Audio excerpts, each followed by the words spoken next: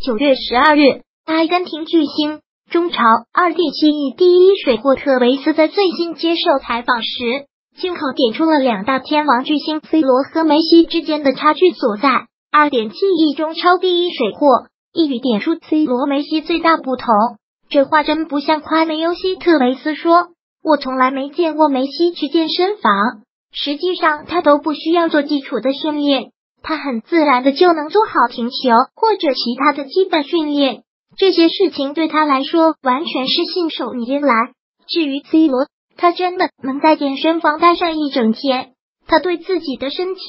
完全到了痴迷的程度，他能够一整天都在健身房持续的训练，他力求自己方方面面都完美。特雷斯透露，九点钟球队还没开始训练的时候。